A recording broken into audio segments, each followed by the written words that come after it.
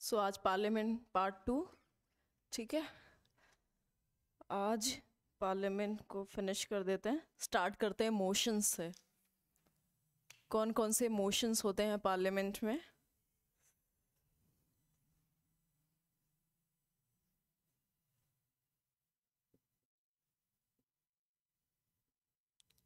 वो door close करते हैं।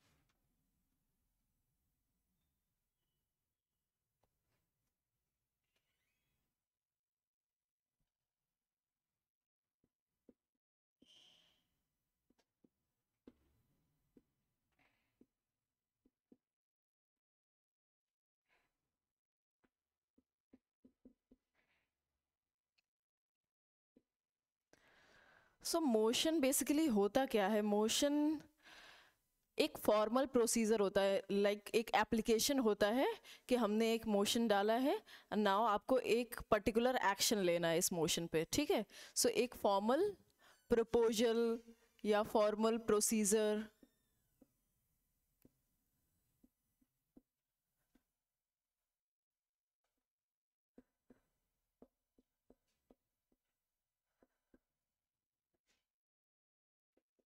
to initiate a particular action.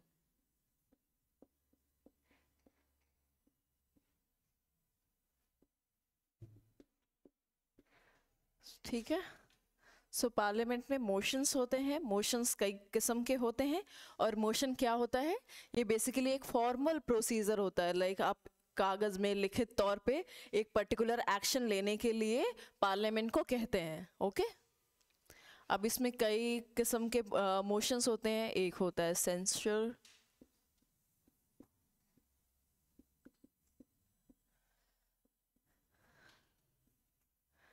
no confidence very famous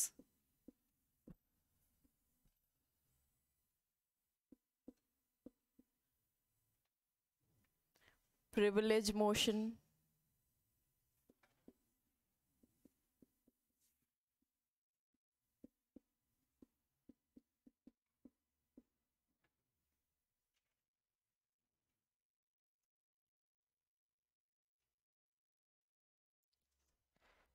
call, attention, motion. ये भी एक तरीके से मेजर्स हैं जहाँ पे अकाउंटेबिलिटी इंश्योर की जाती है, ठीक है? एग्जीक्यूटिव की। Call attention motion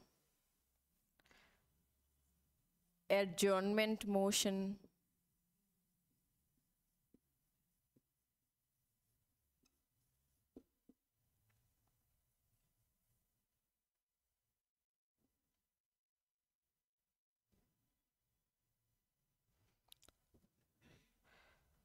और होता है मोशन ऑफ़ थैंक्स।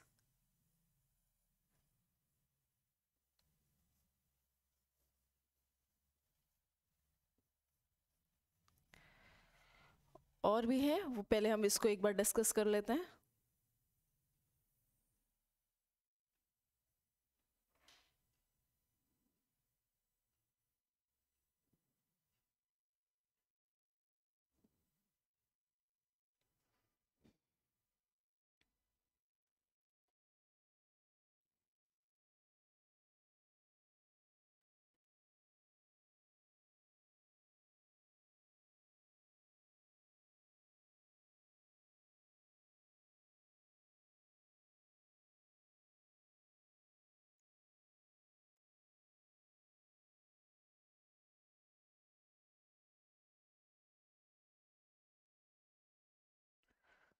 सबसे पहला है सेंशर मोशन सबसे पहले इंपॉर्टेंट फैक्ट है अबाउट सेंशर मोशन की, कि ये इंट्रोड्यूस होता है ओनली इन लोकसभा ठीक है? सबसे पहली बात तो ये हो गई. अब सेंशर का मीनिंग क्या होता है? सेंशर करना, जैसे हम कहते हैं ना किसी को कि जैसे कोई कुछ गलत हो जाता है, कोई तरीका है, गलत होता है तो हम सेंशर करते हैं, ठीक है?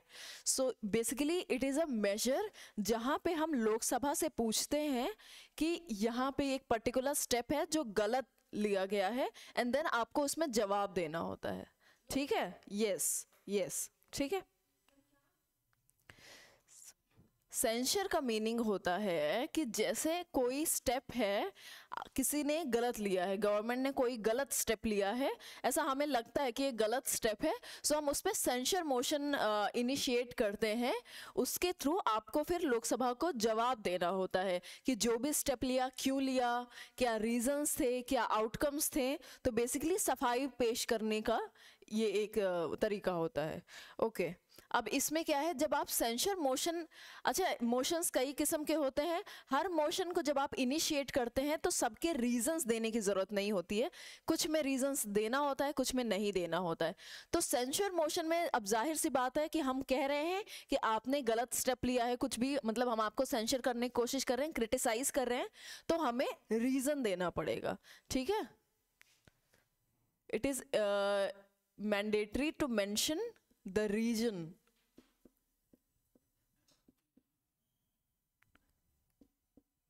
Mention the reason उसमें चेक करना, उसमें विजुअल है ना? Reason to adopt the motion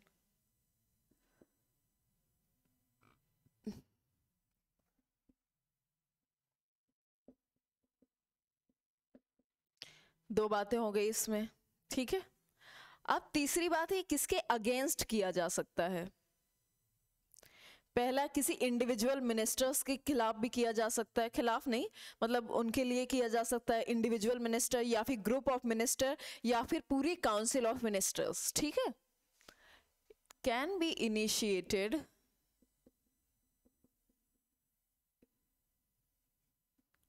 against individual minister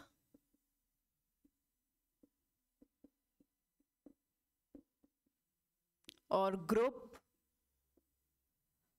or entire council of ministers.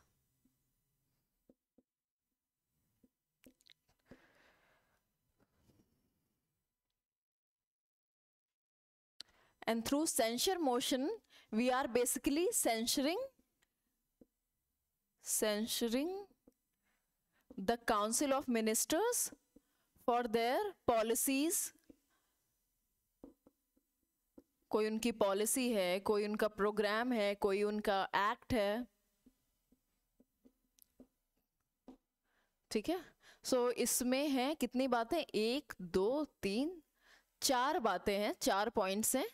पहला है it can be introduced only in Lok Sabha second point is it is mandatory to mention the reason to adopt the motion third reason is third point is it can be initiated against individual minister और group of minister और entire council of minister यानी कि पूरी government के खिलाफ भी।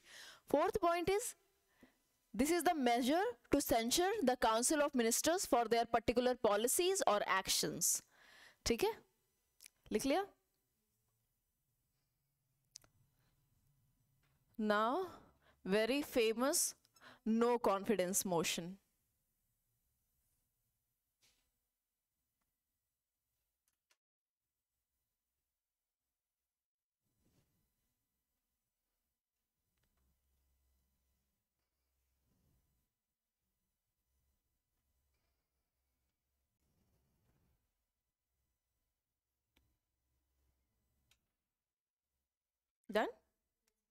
no confidence motion पढ़ने से पहले एक बार आपको बता दें कि आर्टिकल 75 जो हम पढ़ रहे थे तो उसमें हमने पढ़ा था कि council of minister is accountable है ना?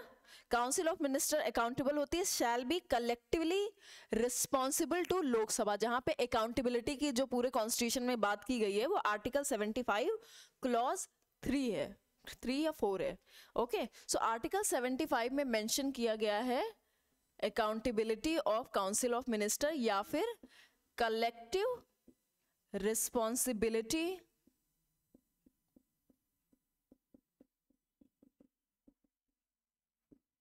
of council of ministers to Lok Sabha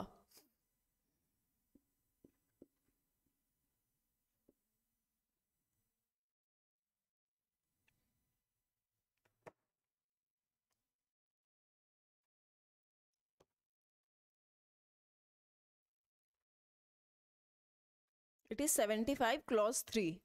ठीक है? यहाँ पे थ्री भी डाल लो, seventy five. Clause three.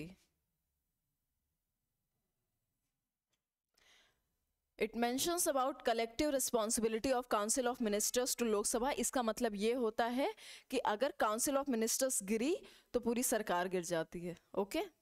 अब दूसरी जगह कॉन्फिडेंस मोशन कॉन्फिडेंस मोशन यहीं से ओरिजिनेट होता है डेराइव करता है। इसका मतलब ये होता है कि इसमें इसमें बेसिकली ये होता है, अगर confidence no confidence motion pass हो गया ना, कि मतलब हमारा कॉन्फिडेंस ही नहीं है काउंसिल ऑफ़ मिनिस्टर्स में तो ज़ाहिर सी बात है सरकार गिर गई ओके तो इसमें, इसके थ्रू नो कॉन्फिडेंस मोशन के through Lok Sabha can remove the ministry from office by passing this motion ministry से मतलब पूरी सरकार, ठीक है? काउंसिल ऑफ़ मिनिस्टर तो सरकार ही हुई ओके अब इस मोशन को पास होने के लिए एट लीस्ट पचास मेंबर्स की सहमति की ज़रूरत होती है, ठीक है? हाँ okay through this motion Lok Sabha L S can remove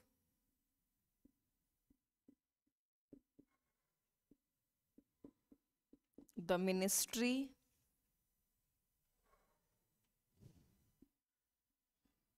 from office. It requires support of 50 members.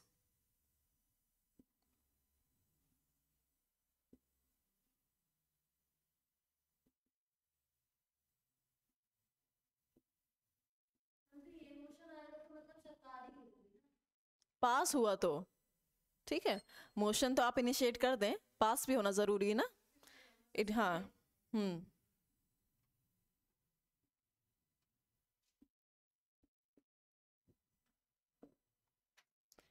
अब अगेन जब ये अकाउंटेबिलिटी की बात हो रही है नो कॉन्फिडेंस मोशन तो तीसरी इंपॉर्टेंट बात ये है it only can be introduced in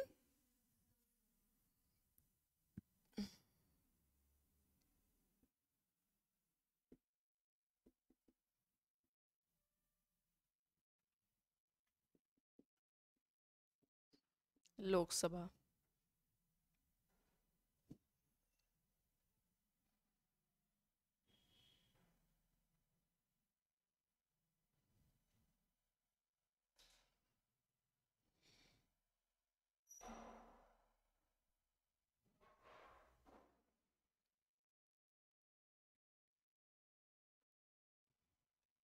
लिख लिया?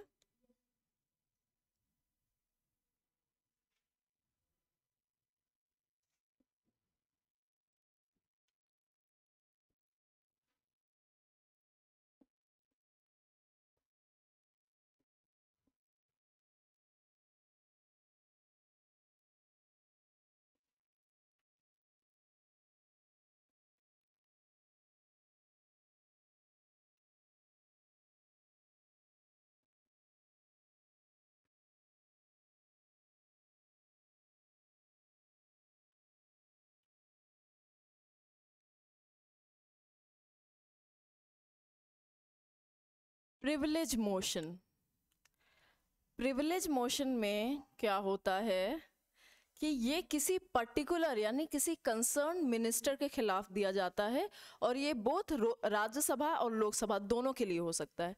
अब मिनिस्टर के खिलाफ क्यों? क्योंकि जब हमें लगता है, जब किसी मेंबर को लगता है पार्लियामेंट के किसी मेंबर को लग रहा है कि किसी कंसर्न मिनिस्टर ने गलत फैक्ट्स दिए हैं या फिर क्या किया है? उन्होंने कोई फैक्ट छुपाया है या फिर गलत या फिर डिस्टॉर्टेड फैक्ट दिया है ठीक है? तोड़ मड़ो तोड़ मरोड़ करके दिया है ठीक है? सो so, इस इस केस में प्रिविलेज मोशन इनिशिएट किया जाता है अगेंस्ट अ पर्टिकुलर मिनिस्टर ठीक है?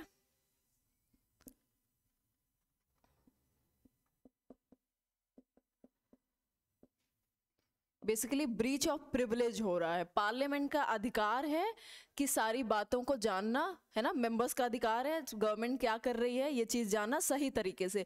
तो अगर किसी ने उसमें गलती की है तो ये ब्रीच ऑफ़ प्रिविलेज ऑफ़ किसका हो गया? पार्लियामेंटेरियंस ओके एंड अगेन घूम फिर जनता का। It can be initiated against a particular और concerned minister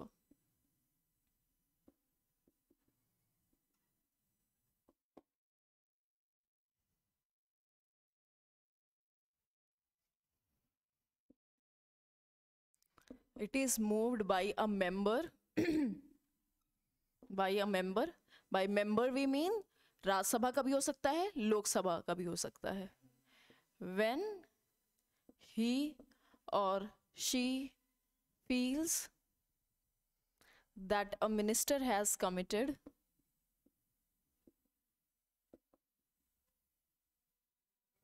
minister has committed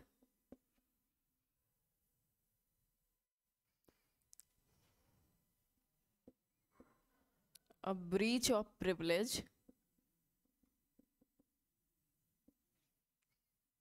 of the house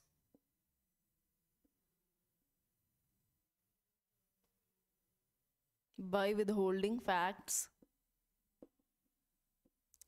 withholding का मतलब छुपाना अपने पास ही आपने वो फैक्ट छुपा दिया by withholding facts or giving wrong facts.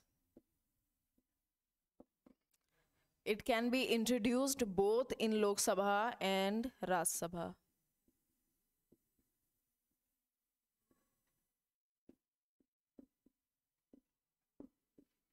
LS and RS.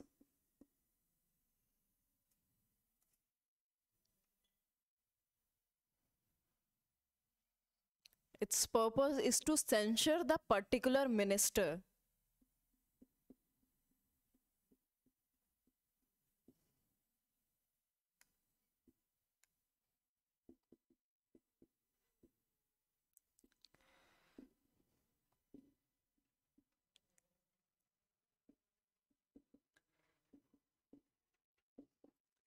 अब एक बात ध्यान रखना, इसके पहले जो हमने पढ़ा था, सबसे पहला क्या पढ़ा था?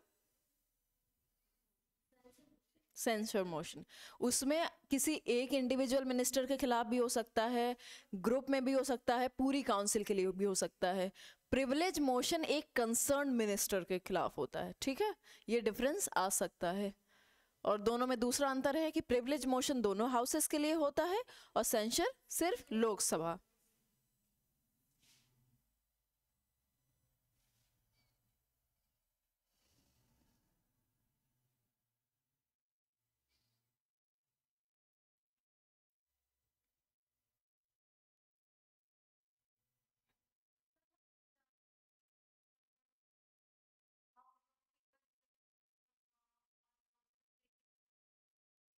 नहीं नहीं, कोई प्रॉब्लम नहीं है। दोनों साथ में ही लिखे जाते हैं।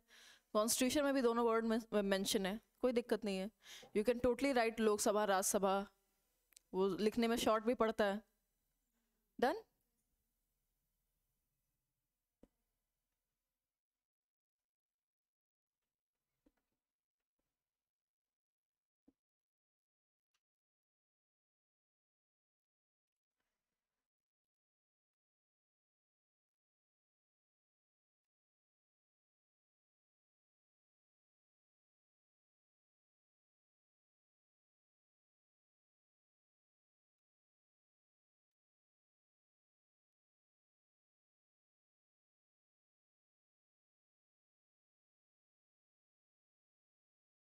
अब है कॉल अटेंशन मोशन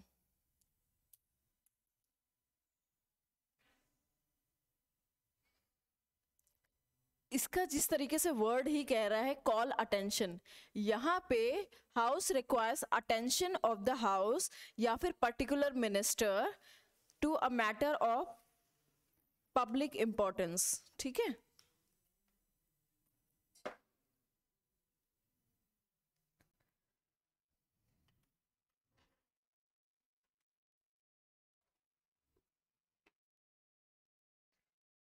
तो इसमें हाउस पर्टिकुलर मिनिस्टर की अटेंशन चाहिए होती है। Uh, कोई ऐसा मैटर है जो पब्लिक इम्पोर्टेंस का है ठीक है अर्जेंट है ओके तो उसमें उनसे उन पर्टिकुलर मिनिस्टर से अथॉरिटेटिव उनकी अथॉरिटी हमें जाननी है ठीक है। वो अपना स्टेटमेंट देंगे कि क्या किया क्यों किया कैसे किया you know kind of answering you answering the house about the particular actions okay और decisions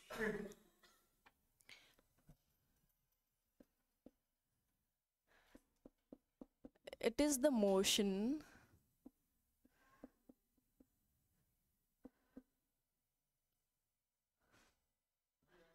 To seek attention.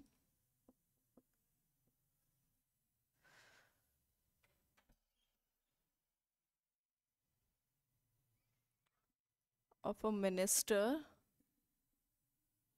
on a matter of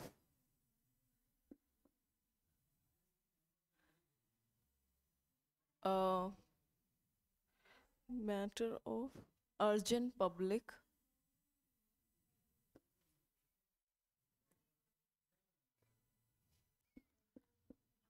public importance.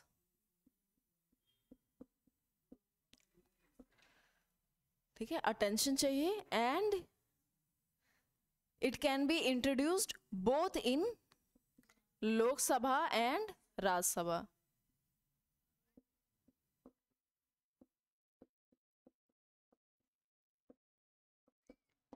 तीसरी चीज़ है कि जब ये मोशन इनिशिएट कर दिया गया है तो जिस पर्टिकुलर मिनिस्टर के अटेंशन चाहिए, उसका अथॉरिटेटिव स्टेटमेंट की ज़रूरत होगी, ठीक है? It requires authoritative statement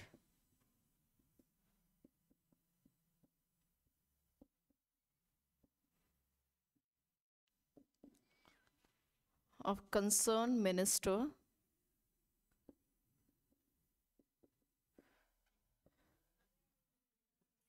Over the matter.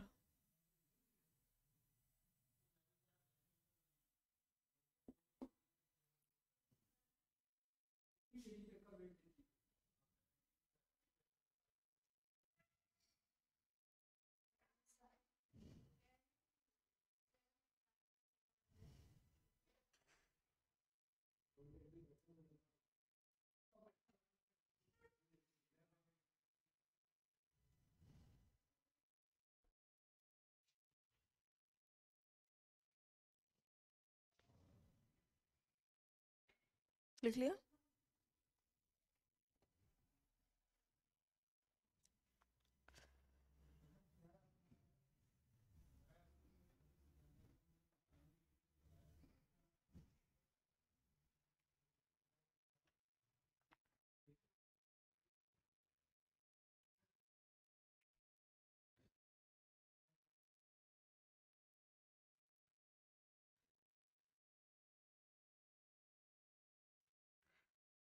Next is क्या है नंबर इसका fifth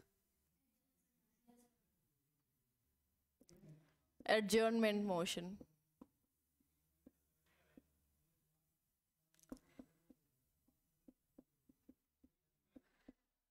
adjournment motion basically ये भी लोकसभा में सिर्फ़ इंट्रोड्यूस किया जाता है, ये भी एक तरीका है, जैसे सेंशर मोशन है वैसे ये भी है बट इसमें क्या है, जो पर्पस है, बहुत ही डेफिनेट होता है like to the point purpose होगा ओके? दूसरी बात ये है कि ये भी गवर्नमेंट के खिलाफ सेंशर है, ठीक है? पूरी गवर्नमेंट के खिलाफ सेंशर है। सो so बेसिकली जब हम एडजर्नमेंट मोशन इंट्रोड्यूस करते हैं तो हम पूरी हाउस की अटेंशन ले रहे हैं कि फला फला इशू पे गवर्नमेंट ने ये एक्शन लिया and now we are censuring the government and now government will answer about it ठीक है? So, first point is it can be introduced only in only in Lok Sabha. क्या हाँ that is different ये adjournment motion है. वो adjournment of session था. ठीक है? किसी सेशन को रोकना okay it can be introduce only in Lok Sabha second point is it is a motion to censure the government.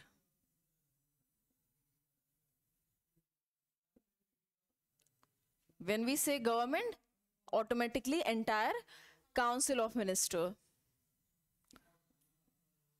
Over a matter of definite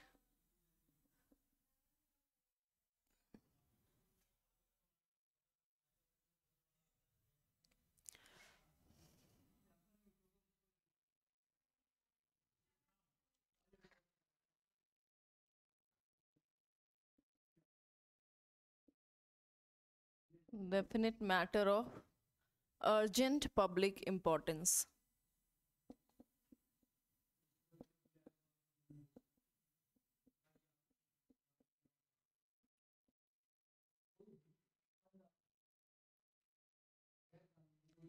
यहाँ पे दो पॉइंट मैंने एक में जोड़ दिया है। पहला, कि ये सेंशर करता है गवर्नमेंट को और किसमें? Definite matter of urgent public importance ठीक है? Can be introduce only in Lok Sabha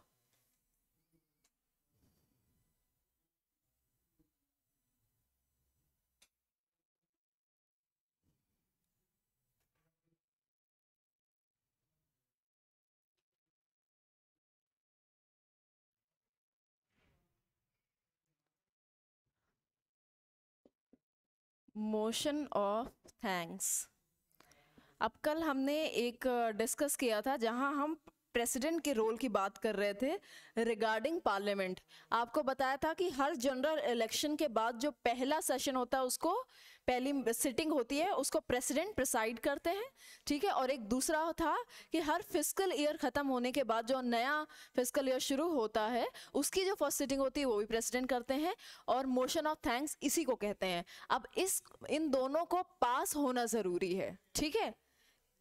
in a sense कि ये जो पहला जनरल इलेक्शन के बाद पहली सिटिंग हो रही है, ठीक है? जब पहली सिटिंग हो रही है, यानी नई सरकार उसमें बैठी है जो इलेक्ट होके आई है, अब वहाँ पे ये मोशन ऑफ़ थैंक्स इनिशिएट किया जाता है और इस मोशन ऑफ़ थैंक्स को उस पहली सिटिंग में पास होना ज़रूरी है। अगर नहीं पास हो रहा है मतलब it amounts to defeat of the government ठीक है?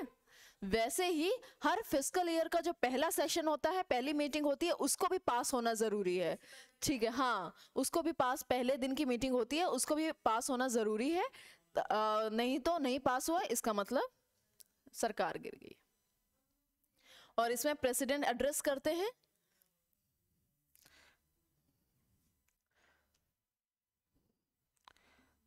The first session after each general election अच्छा आई राइट फ़र्स्ट इस तरीके से आप लोग F I R S T लिखना, ठीक है?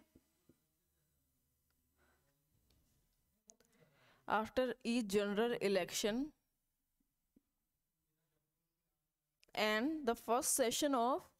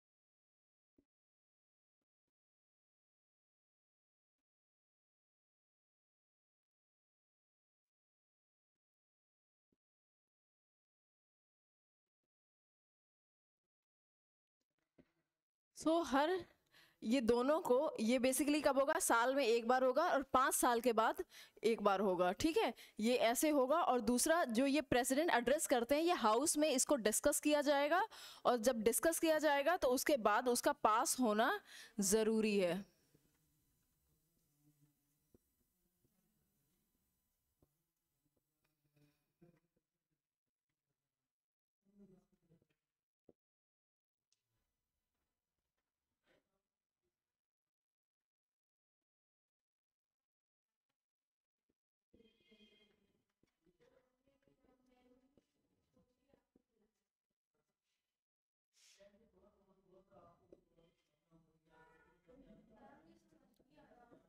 एक मिनट।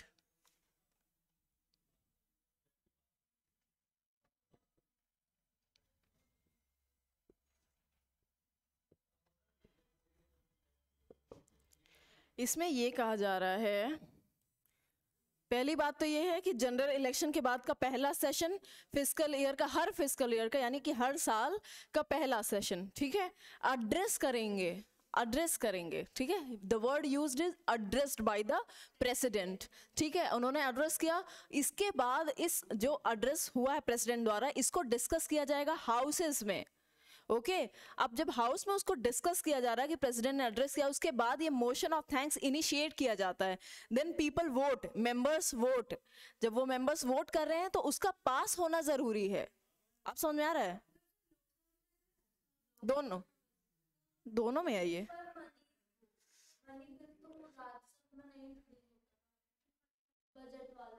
नहीं नहीं ये नहीं म, वो बजट न money bill is not money bill is different thing वो तो अप्रोप्रिएशन स्टेटमेंट है ना कि इतना पैसा हमें निकालना है। ये ये देखो फ़िज़िकल ईयर का इसका पर्पज ये है कि आपने पिछले साल जितना पैसा निकाला उसका किस तरीके से इस्तेमाल किया साल भर ठीक है? सो जब नया फ़िज़िकल ईयर आ रहा है तो प्रेसिडेंट इसको एड्रेस करते हैं। उसमें बेसिकली ये देखा जाता है कि साल भर आपने कैसा काम किया है।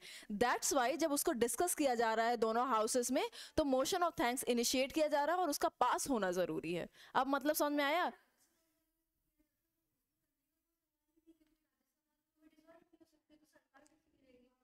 तो सरकार इसलिए गिर जाएगी कि उसका, देखो, दोनों हाउसेस की बात हो रही है ना? तो दोनों हाउसेस में आ? हाँ। दोनों हाउसेस से पास होना ज़रूरी है। ऐसा नहीं है कि केवल राज्यसभा ने अगर केवल रिजेक्ट कर दिया तो डिफीट हो गया। नहीं वो दोनों हाउसेस से पास होगा।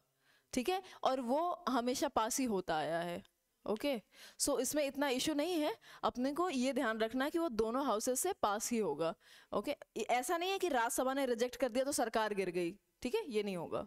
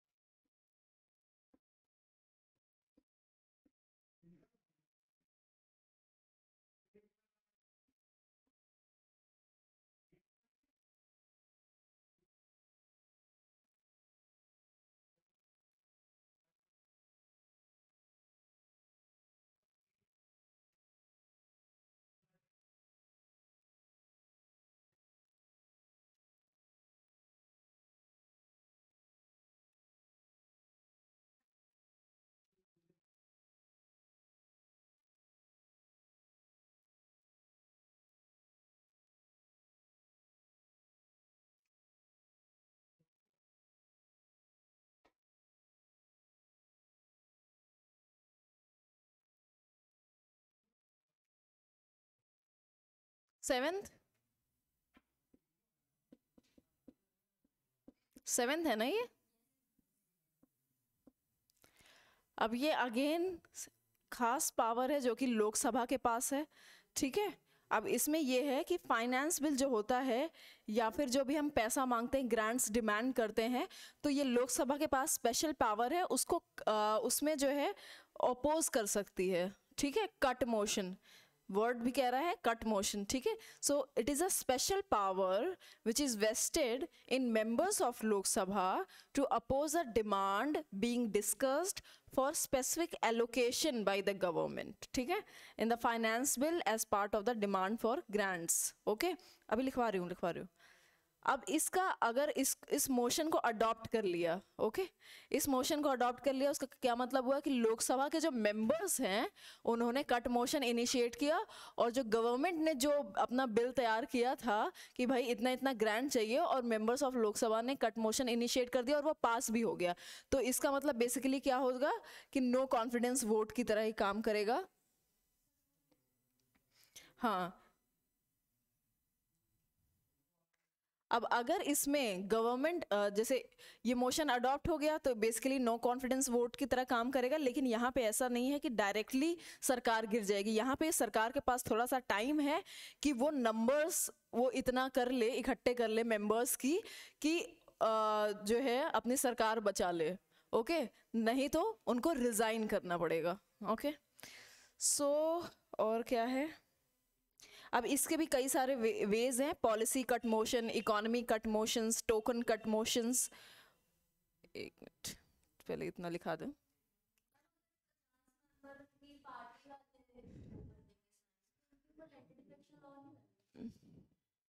कैसे लगेगा? मेंबर्स है ना? अच्छा उनकी पार्टी ही कर देंगी। नहीं नहीं पचास पे नहीं लगेगा। पचास पे वो तो देखो ऐसा है कि अगर दो चार मिनिस्टर्स कर रहे हैं तो तो एंटी डिफेक्शन लग जाएगा। बट आपकी आपकी सरकार के इतने सारे मिनिस्टर कर दे रहे हैं तो उससे आपकी सरकार का ही नंबर घट गया ना। वो एक तरीके से डिवीज़न हो गया स्प्लिट इन द पार्टी हो गई ना। पचास तो बहुत होता है, ठीक है? बाईस यहाँ पे बाईस हटे थे ना, तब वो सरकार गिर गई थी, पचास तो बहुत हो गए।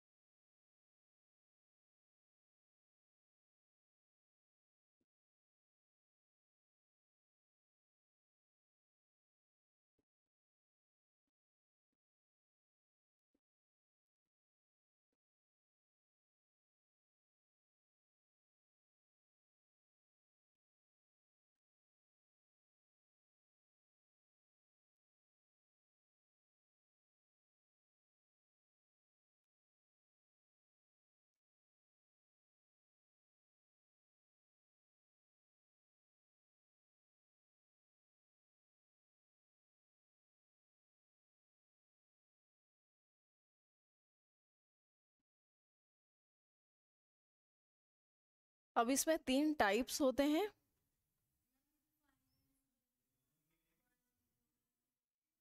फाइनेंस बिल दोनों में, दोनों any as part of demand for grants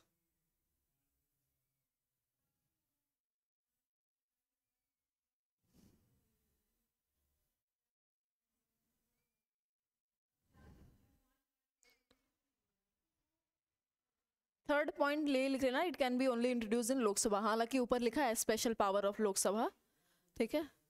अब पैसे को लेकर के है तो ज़ाहिर है सिर्फ़ लोकसभा का पावर है ये।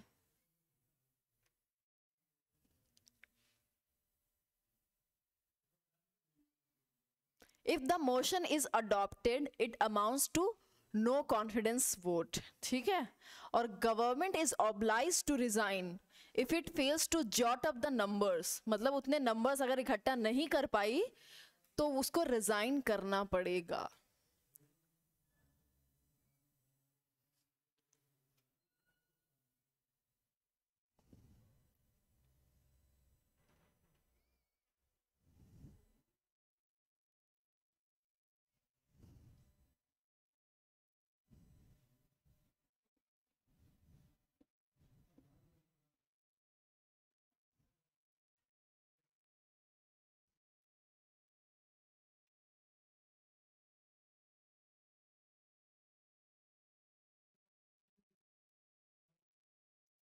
अब कट मोशन तीन किस्म के होते हैं। पहला है पॉलिसी कट मोशन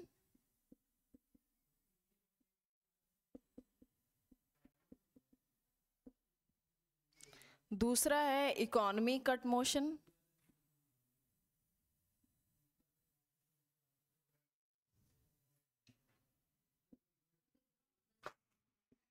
क्या? बस थोड़ा सा, अभी खत्म हो जाएगा आधे घंटे में। जितनी ज़रूरी है, बस उतना ही करा रहे टोकन कट मोशन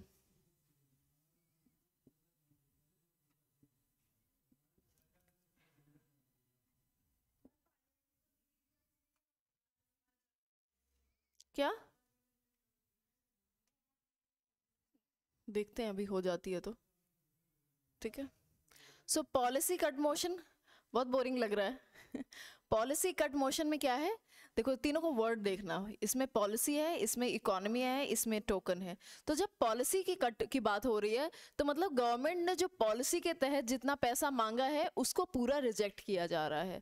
ठीक है सो सही, काफ़ी बड़ी बात होगी। सो पॉलिसी कट मोशन में इसको मूव किया जाता है पॉलिसी कट मोशन ये डिमांड करने के लिए कि गवर्नमेंट ने जितने भी हज़ार करोड़, लाख करोड़ पैसा मांगा है, उसको रिड्यूस कर दिया जाए टू रुपीज़ वन ठीक है?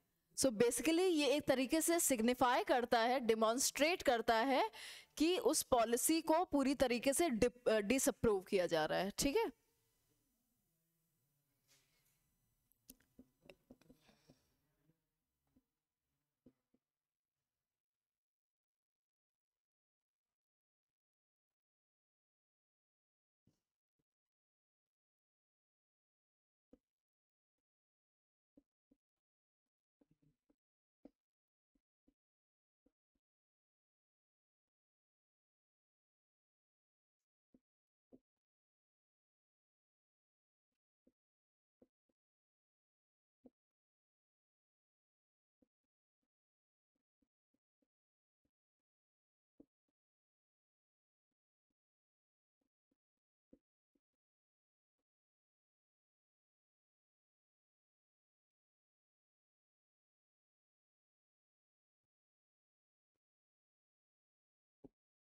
इकोनॉमी कट मोशन में ये कह रहा है कि जैसे वर्ड कह रहा है इकोनॉमिक तो इसमें ये कह रहे हैं कि जब पॉलिसी में जितना भी डिमांड किया गया, जो भी पैसा आपने डिमांड किया है तो उसमें एक स्पेसिफिक अमाउंट रिड्यूस कर दिया जाए, ठीक है?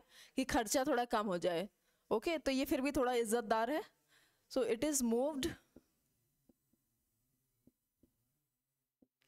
to reduce the amount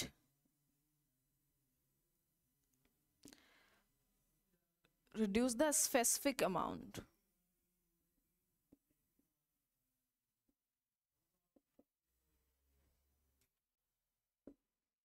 ठीक है।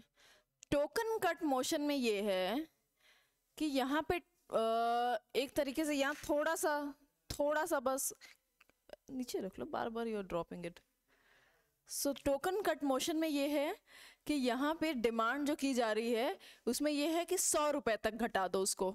Okay? Reduce by rupees hundred basically ये एक तरीके से डिमॉन्स्ट्रेशन का तरीका है, ठीक है? यहाँ पे तो रिड्यूस टू यहाँ पे ध्यान देना द वर्ड इज़ टू जितने भी तुमने मान लो अगर पचास हज़ार करोड़ रुपए मांगे हैं तो उसको रिड्यूस टू वन कर दिया गया है, ठीक है? टोकन कट मोशन में ये है, उसमें रिड्यूस बाय रुपीज़ हंड्रेड है, ठीक है? सो बेसिकली आपका कोई ग्रीवांस है उस पॉलिसी के खिलाफ, जो ग्रीवांस मतलब आपको कोई इशू है, ठीक है? उस इशू को डिमॉन्स्ट्रेट कर रहा है, ओके? okay?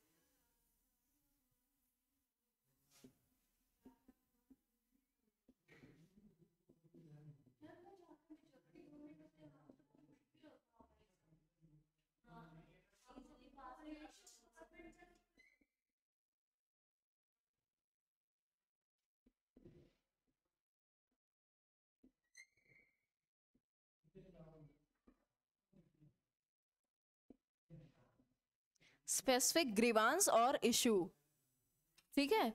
यानी कोई समस्या है। ग्रीवांस मतलब आपको कोई समस्या है। तो अमाउंट बाय रुपीज़ हंड्रेड कुछ नहीं होता है।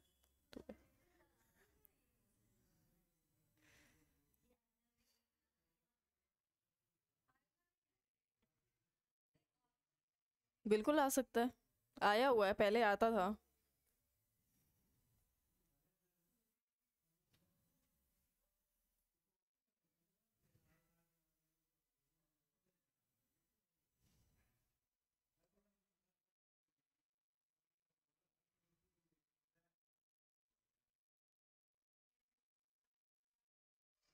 ये तो आता है, ये स्टेट्स में ये मैंने देखे हैं, पहले आते थे, अभी पता नहीं आता कि नहीं। कट मोशन काफ़ी सवाल आता है कट मोशन से।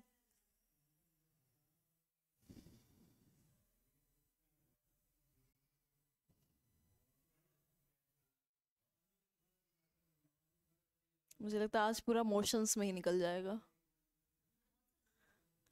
एक है, इसके बाद एक और इम्पोर्टेंट है क्लोजर मोशन जैसे कट मोशन के अंदर तीन पॉइंट्स हैं, वैसे क्लोजर मोशन के अंदर चार पॉइंट्स हैं।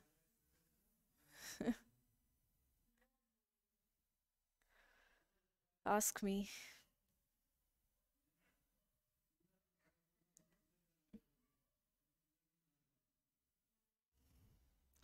इंटरेस्टिंग टॉपिक अब बचा नहीं ना, जितना भी इंटरेस्टिंग था सब हो गया। है ना? फंडामेंटल राइट डीपीएसपीज वो प्रेसिडेंट गवर्नर इमरजेंसी यहाँ मज़ा आता है। देन उसके बाद तो बस वो रटिफिकेशन वाले टॉपिक्स बचते हैं। स्टेट वाला? कर लेते हैं उसको। जो अभी उसमें डिस्कस नहीं किया था हमने? ठीक है, कर लेंगे।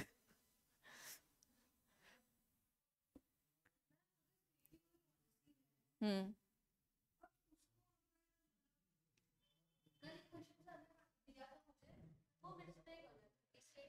किसने सवाल दिया था? अच्छा क्या था?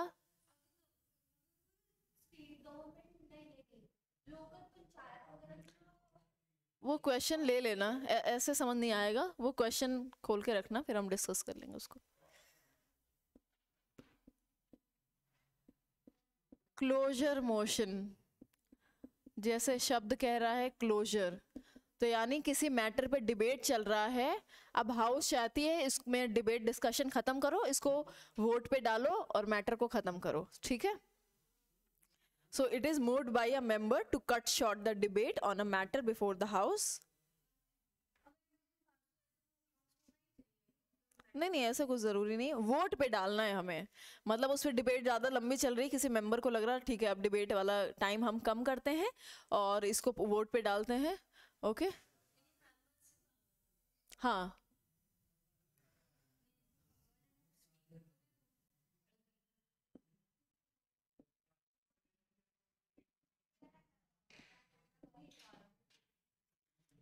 cut short the debate over a matter and put to vote उसको वोट पे डाल दो मेंबर की पावर है to cut short the debate किसी इशू पे डिबेट चल रहा है, उस डिबेट को खत्म करना है और उसको वोट पे डालना है, बस बात खत्म। अगर मोशन अप्रूव्ड हो जाता है तो। अच्छा इसमें सब ये ध्यान रखना, ये मोशन पे मैं लिखा रही हूँ, जैसे it is moved by a member member ने मूव कर दिया है देन उसको पास होने में, उस मोशन को पास होने में पूरी हाउस की रजामंदी चाहिए होती है ना? ये हम इन जनरल याद रखेंगे। अब इसमें कई टाइप्स हैं। एक एक पॉइंट एक एक लाइन में बस। क्या? Simple closure simple closure motion closure by compartments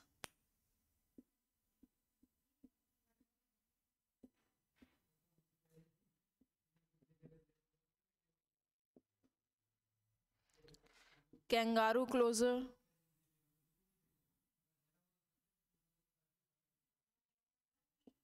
guillotine closure ये गिलेटिन बहुत आता है. यस इंपॉर्टेंट है ना? देखो. तो सिंपल क्लोजर में ये है कि मेंबर्स को लग रहा है कि चलो हमने सफिशिएंटली डिस्कस कर लिया है किसी मैटर को, अब इसको वोट पे डाल देते हैं। तो that is simple closure matter is sufficiently discussed जितनी ज़रूरत है उतनी हमने डिस्कस कर ली है। अब बिना बात की उसमें बहस करने की ज़रूरत नहीं है। Okay so let's put it to vote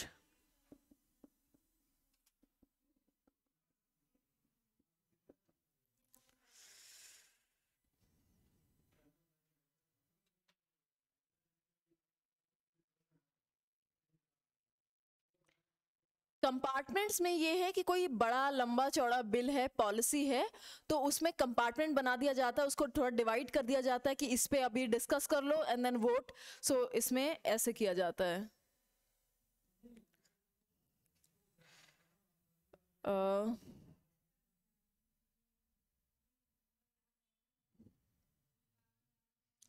clauses of a bill और लेंदी रेजोल्यूशन इज़ क्लब्ड, उसको क्लब कर दिया जाता है कंपार्टमेंट्स में, clubbed into parts.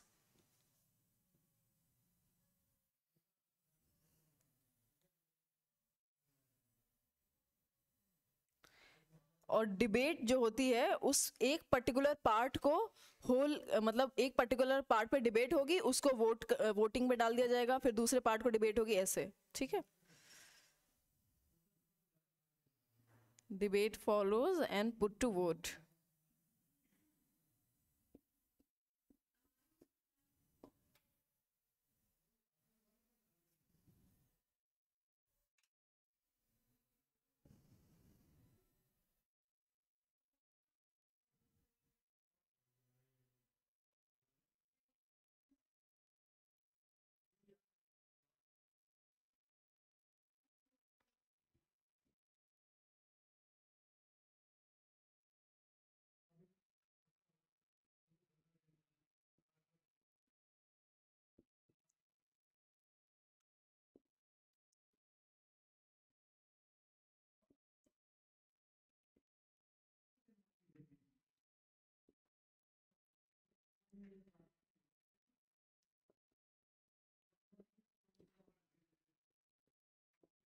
Kangaroo closure में क्या होता है? सिर्फ़ इंपॉर्टेंट इंपॉर्टेंट क्लॉजेस को डिस्कस करना है और पूरे मैटर को वोट पे डाल देना है, ठीक है? सिर्फ़ इंपॉर्टेंट इंपॉर्टेंट को हम डिस्कस करेंगे, बाकी सबको स्किप करके और पूरे को ही वोटिंग में डाल देंगे। इसमें दोनों में फ़र्क समझना, ठीक है?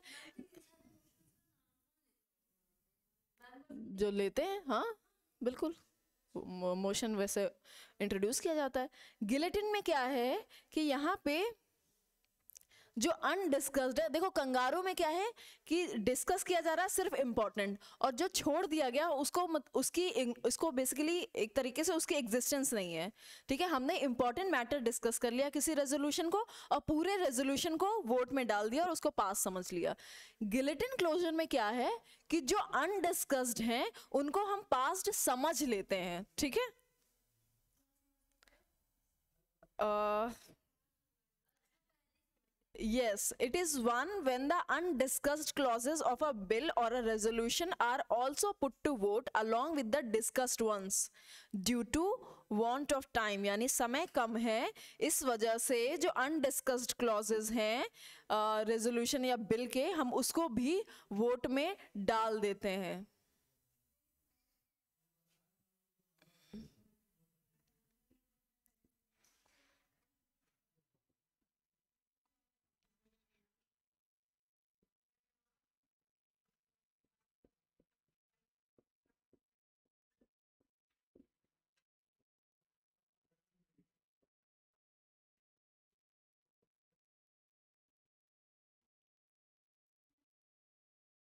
due to paucity of time paucity थोड़ा आसान है. ड्यू टू पॉसिटी मतलब कमी है समय की. पॉसिटी ऑफ़ टाइम यानी समय की कमी की वजह से जो क्लॉजेज अनडिस्कस्ड हैं, उनको भी हमने वोटिंग में डाल दिया है डिस्कस्ड क्लॉजेस के साथ.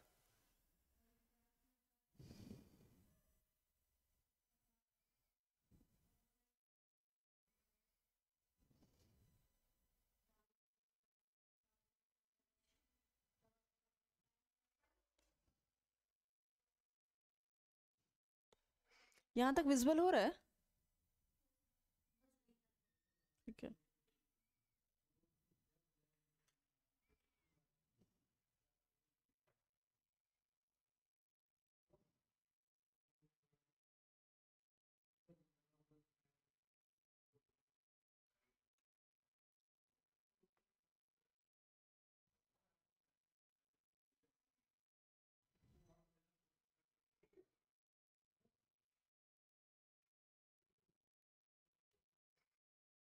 अब इसके बाद जो मोशन है, बहुत इंपॉर्टेंट है स्पेशली करंट गवर्नमेंट में। ये एक दो बार अभी न्यूज़ में भी था, मेरे ख्याल से लास्ट ईयर था। ठीक है? पॉइंट ऑफ़ ऑर्डर ओके बताती हूँ क्या है।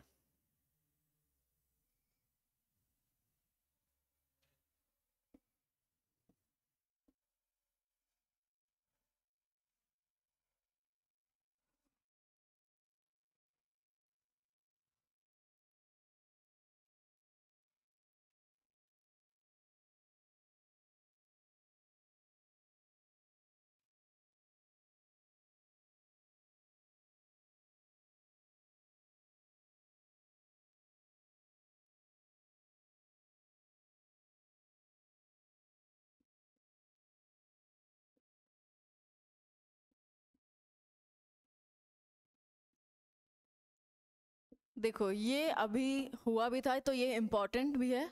इसमें लगा लेना, ये बिल्कुल पूछा जा सकता है। So point of order basically तब होता है जब किसी मेंबर ऑफ़ द हाउस को लगता है ये बेसिकली ऑपोजिशन की पावर होती है। इसको एक्स्ट्रा ऑर्डनरी कहते हैं ठीक है? सो so, ऐसा लिखा नहीं कि ऑपोजिशन की ही बट ऑपोजिशन ही इसको इस्तेमाल करता है और ये तब इस्तेमाल की जाती है जब ऐसा लगता है कि हाउस का जो रूल्स है वो फॉलो नहीं किया जा रहा है। यानी मतलब समझ में आ रहा है कि जो सत्ता में गवर्नमेंट है वो अपनी मनमानी चला रही है। जैसे हाउसेस के रूल्स होते हैं कि कोई भी बिल इंट्रोड्यूस हो रहा है ऐसे पास हो उसमें डिस्कशन हो डिबेट हो या आपने रिसेंटली सुना होगा लास्ट टू इयर्स में कि कई बिल्स में डिस्कस भी नहीं होता था है ना? पास हो जाते थे ठीक है? So point of order motion initiate भी किया गया है। सो so, इस वजह से ये इंपॉर्टेंट है। It is an extraordinary device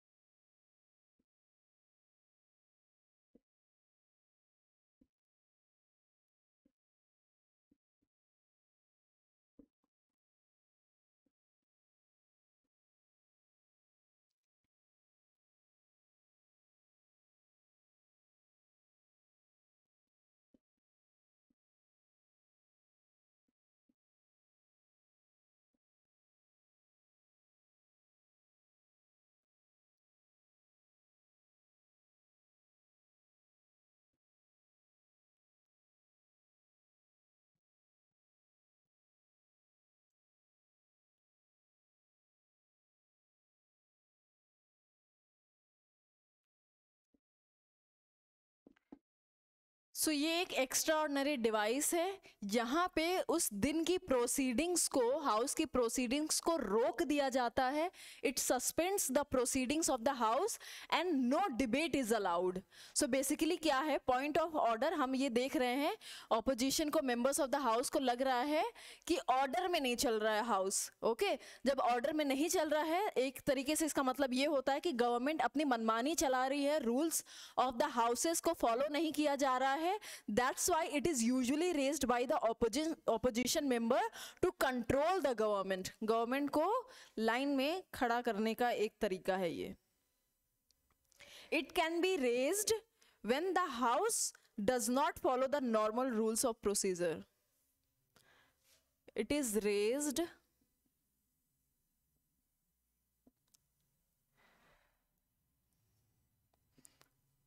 when the rules of procedures rules of procedure होता है हर हाउस का ठीक है rules of procedure of the house is not followed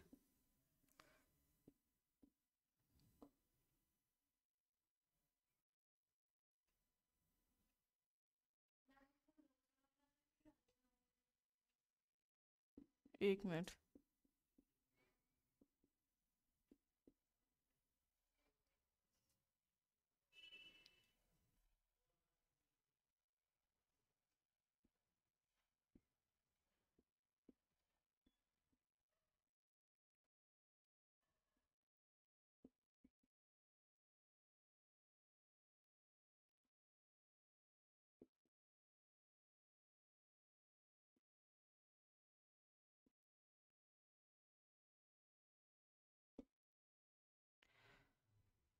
when the rules of procedures of the house is not followed और point of order motion में फिर basically interpretation किया जाएगा। जो भी member बताएँगे कि ये वाला rule नहीं follow किया जा रहा है then उस पर discuss किया जाएगा।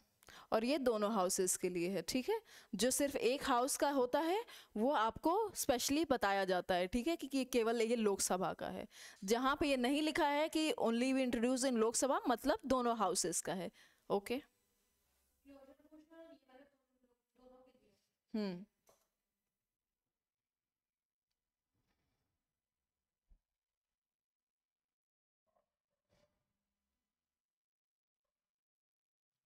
Clear. Now last one is special mention.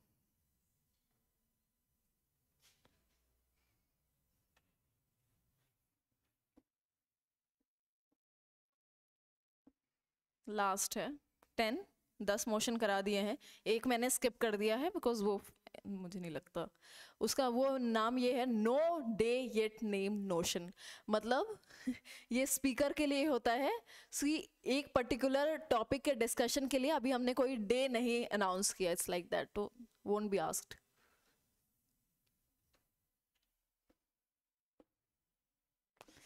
जितने लिखाए हैं, वो पता होने चाहिए। और अच्छे से पता होना चाहिए, ठीक है? उसमें कंफ्यूजन नहीं होना चाहिए। कौन सा ओनली लोकसभा है?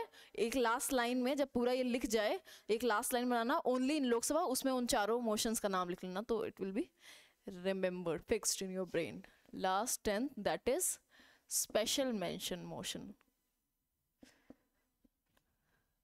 specially mention किया जा रहा है इसको, यानी शॉर्ट में बता देती हूँ।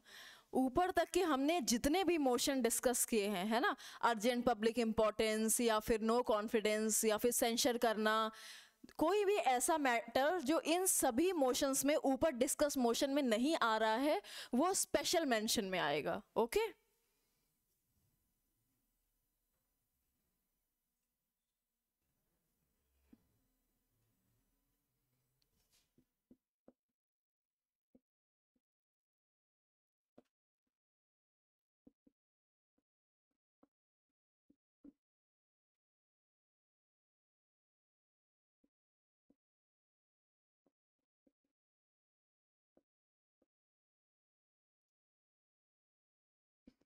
मैं एनी ऑफ़ द अबव लिख रही हूँ okay you can write it यहाँ लंबा हो जाएगा। एनी ऑफ़ द अबव यानी कि ऊपर के जितने point of order closure censure whatever it is so any matter which is not mention in any of the above motion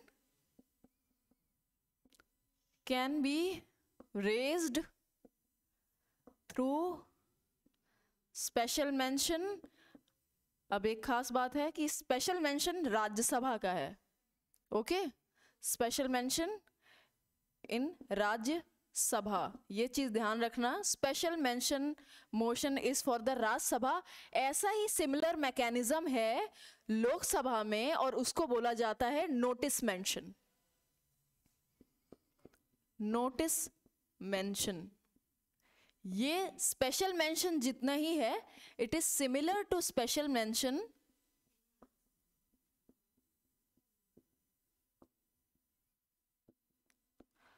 but it is for the Lok Sabha and ये कहाँ पे mention है? Rule 377 of rules of procedure mention in rule 377 seventy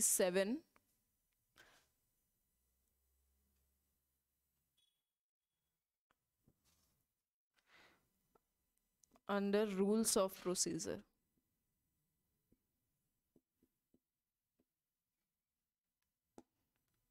ये लोकसभा के लिए है ये रास special mention is for Rajya Sabha notice mention is for Lok Sabha ठीक है? बट दोनों का पर्पस सेम ही है कि ऊपर दिए गए जितने भी मेंशन अभी हमने डिस्कस किए हैं, इसीलिए ये आखिरी में भी लिखाया है, ठीक है? सो ऊपर दिए हुए जितने भी मेंशन हमने डिस्कस किए हैं, कोई भी ऐसा मैटर जो उन मेंशंस में नहीं आता है, उसको स्पेशल मैंशन के थ्रू इनिशिएट किया जा सकता है, उस मोशन के through and that will be discussed similarly notice mention special mention का भाई in Lok Sabha. That's all professor की क्लास होगी अब इसके बाद?